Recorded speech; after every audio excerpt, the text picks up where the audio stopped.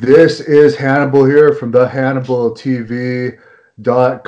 And today on the Great North Wrestling Podcast, I have a world renowned women's athlete finally going to make her Great North Wrestling debut this Saturday night in a couple days, February 29th, in Smith Falls, Ontario. And Jessika Black, the current Great North Wrestling Women's Champion, is going to have probably by far the toughest opponent she has faced yet. She's held the title over a year now, and she's going up against you. So how are you doing today to start this? I'm I'm really good. Just had a good training, and I'm uh, I'm ready for Jessika Black. Your arms are looking very muscular. Yeah, we gotta pretty much. you know you're tough with, a, with the championship on it, right? well, you've held a lot of titles for for a fan that might not uh, be familiar with your work, could you just go into some of the many accomplishments? Too much to actually say in a in a short interview, but some of the big ones. Um, I uh, I have actually five main championship, like the male championship, to uh, as a total. Um, one of them being the NSPW championship, one of the biggest promotion in Quebec. I was also the CZW Ironman champion. Uh, I beat Kevin Steen for it. Um, I was the I am still the longest Shine Wrestling champion, uh, longest reigning Shine champion. Uh, besides that, I was a tag team champion, a cruiserweight champion, a women's champion. Um, I think I have over 15 championships, if maybe more. Yeah. And I know you have several viral matches on YouTube as well. So you're a big hit on the internet, but like some other people I know, for whatever reason, no major company ever gave you a chance. Lots of like very reputable companies, but for whatever reason, Impact, not that Impact is major anymore, but AEW, WWE, Ring of Honor, for whatever reason, despite all your accomplishments and experience, um, why do you think that is? There's different reason why. Sometimes it's it's a, the age. A lot of people think I have a very a violent style of wrestling that might not be the best thing for TV. Uh, although right now things are changing, you see a lot more different styles. So um, I don't know what could the future bring, but at least I know from when I started to the recent years, my style was it, it more like a Japanese kind of style that's not necessarily TV style. And it's about being what they need at that very moment. So I haven't been that person to fill that specific role they're looking for at that moment. But hey, we never know. Um, a few years ago, I would have said, like, right now I'm way too old, but they've been hiring people of my age. Age is not uh, like a major factor anymore for not hiring someone. So, uh, I mean, things are changing for the better in wrestling in general. So, who knows? and you've been wrestling a long time. I remember the first time I saw you in the ring, I was still in high school and it was in Alexandria, Ontario for one of Jacques Rougeau's events. I think you were with uh, Tiger Jackson or something in that night. But when did you exactly start? It's been forever. Um, my first match is June 20th, 1997. So in this June, it will be 24 years that I've been wrestling. So yes, it, has been a long time. and you started when you were like a teenager, right? Yeah, I was 17. Wow. How has the business changed over the years? Um, like I said, things got better, uh, meaning that uh, back then, especially for a woman, it was really hard to be taken seriously. We were more of an attraction. Now, not only we are part of the show as equals, but we also have our own shows. There's a lot of uh, all women promotion, all women shows. Um, it's it's a lot uh, easier to be um, seen as an athlete, not just a woman wrestler, but as an athlete. Um, we have longer matches. We have more, uh, like so much more liberties when it comes to what we can do in the ring. Um, um, different types of matches. Uh, intergender is a lot uh, easier for women back then. I remember it was so hard to be in the ring with someone like like like uh, another a guy, like a man and a woman, especially in Ontario. I had to fight the government for that to happen because it was illegal with the athletic commission. So today, uh, women can fight men, women, uh, anybody, and um, yeah, we're like part of the show as as equals, which is the big big difference. And you had a match, I think it was last week or the week before, with Nyla Rose, mm-hmm. who is another, I guess, trailblazer in the women's wrestling movement, the first uh, transgender mm-hmm. women's champion in a major company. How was that match, and, and what are your thoughts? You're a very strong girl.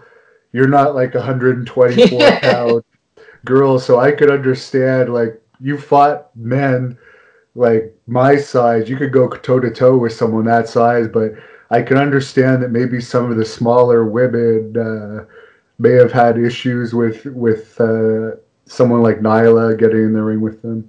Like now, I, I love Nyla Rose. Not only she is uh, great, so she's very good in the ring. She wants to learn. She's very respectful. She um, she's a great human being. She's one of the funniest people I've ever met. She's always joking, always smiling. She brings a good energy to the back like a backstage. She's she's good to have around, and working with her was for me was was so fun. And I mean, I, I don't think she's been thrown around the way she was with me, uh, taking German suplexes and all that stuff. But uh, I really really enjoy that match, and I, I really hope we can work again in the future. Is there anyone that's in WWE right now that is someone that you would really like to work with? You fought the top girl in AEW.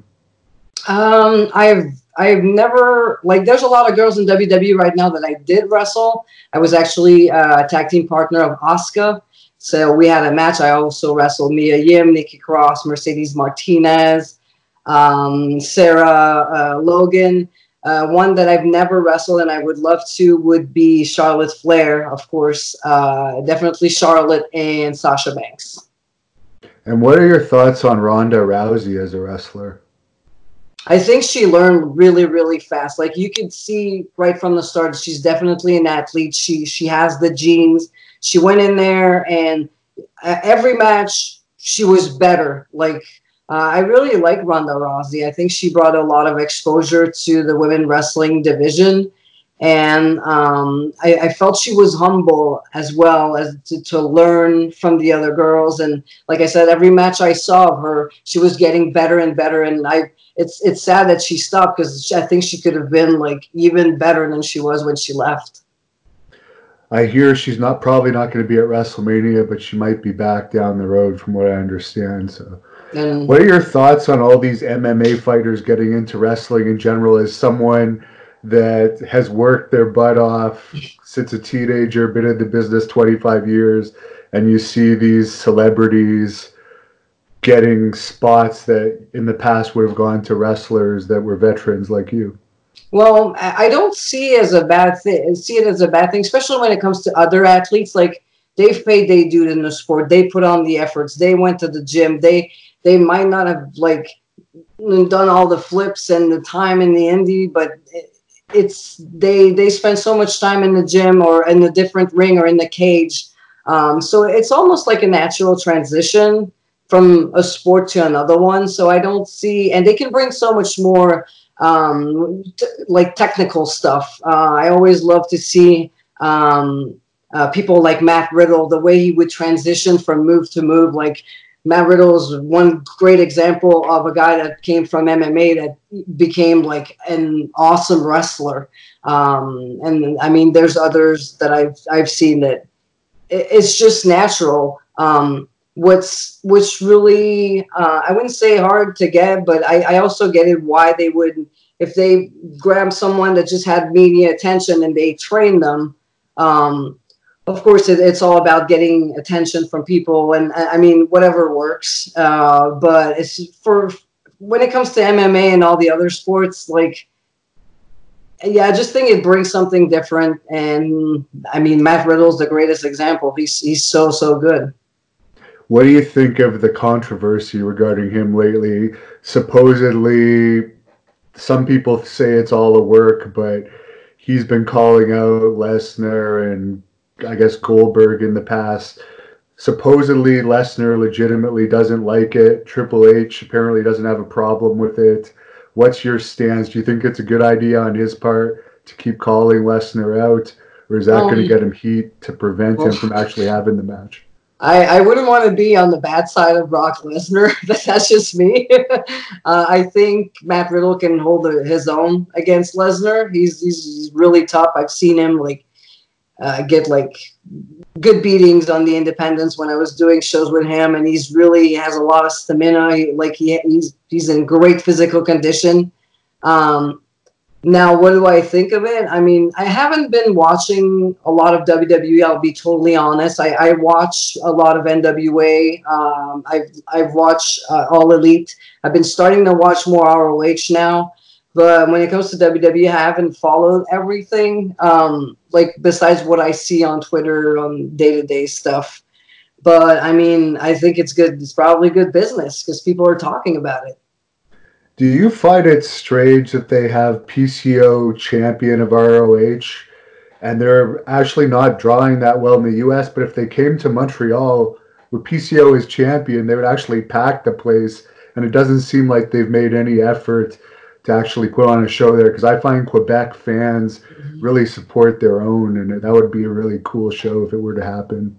I mean, PCO. If you know his story, like it's it's it's the comeback of a lifetime. You got this 52 year old guy who never gave up on his dream, who always have the passion. When you sit down with, with with Carl and you listen to him talk about wrestling, you can feel how much he loves it, and definitely it would be great. I would love Ring of Honor to come here in Canada because they. I, I'm pretty sure they would pack the place because people have so much respect for for uh, for PCO and what he's done and the comeback and he's he's going out there and killing it like so I, I really really hope they come because I, I think they would they would draw really good in here Yes, and you're someone that they would probably throw on the card for sure if they if they came to the area, which would be cool for you. I really hope you do get your break in one of these companies that actually pay like and from what Carl has told me, he's making in the six figures,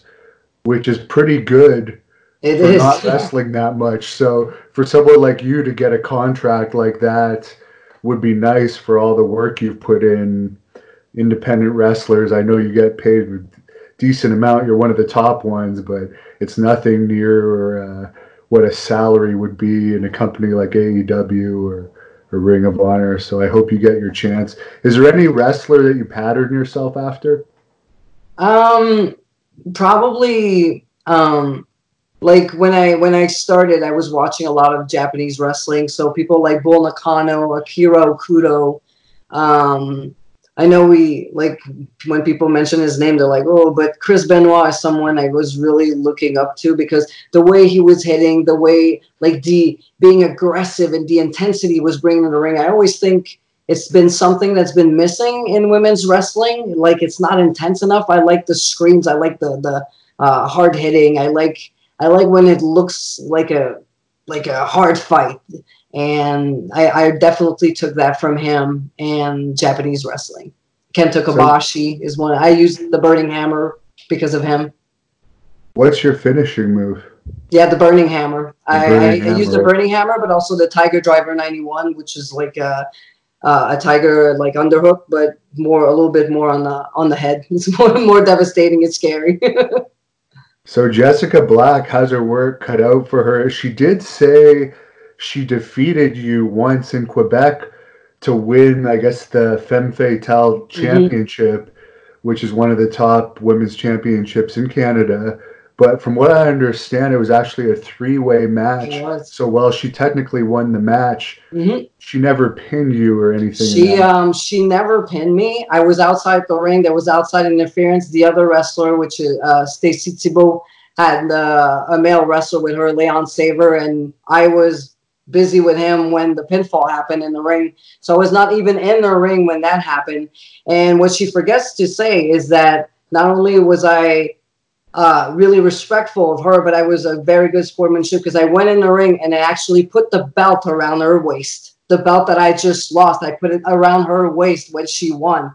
So I don't know why she's being so disrespectful. I don't know if she, she, I, like I know she comes back from an injury, and uh, as I said when I address the situation. I'm I've been there. I know how it feels. I know your the uncertainty it brings. And I don't know if it makes her feel so good to pretend that she did beat me when she did not. But yeah, I had a lot of respect for her back then, and I showed her that by putting the title around her waist. So, well, things might be, well, will be different this Saturday because she don't care, I don't care. And one of the reasons I think that her attitude might have changed is she does date Jeremy Prophet. So maybe some of his attitude has rubbed off on her. Oh well. well, time time for her to get a lesson then. it's going to be interesting. I'm looking forward to that match for sure. I've been wanting to see you in Great North Wrestling for a long time. Is there anywhere where fans can follow you if they want to search you up on social media? Sure, I have my own website, lufisto.com, at Lufisto on Twitter, Wounded Al Lufisto on Instagram, and facebook.com slash Lufisto on Facebook. Well, thanks a lot for checking in with us. We look forward to seeing you in action. First time ever in Smith Falls, actually, yes. I think. Yeah. So the, the Smith Falls fans should come out and see this rare appearance of Lufisto there. One last question. Yes. Where did you get the name Lufisto?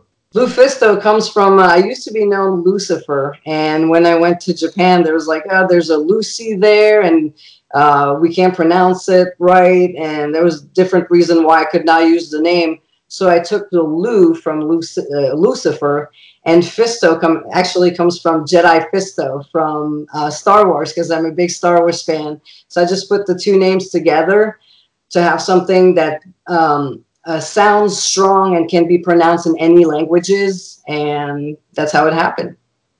And it's quite a different character than Precious Lucy was. Oh my god! Yeah, you were quite a uh, heartbreaker back in those days, and very feminine. And now you're like a, still obviously very beautiful, but you're like hardcore, take no prisoners, fight guys, bleed, it's crazy. So it's going to be cool to see you in action. To close this off, what do you have to say to Jessika Black?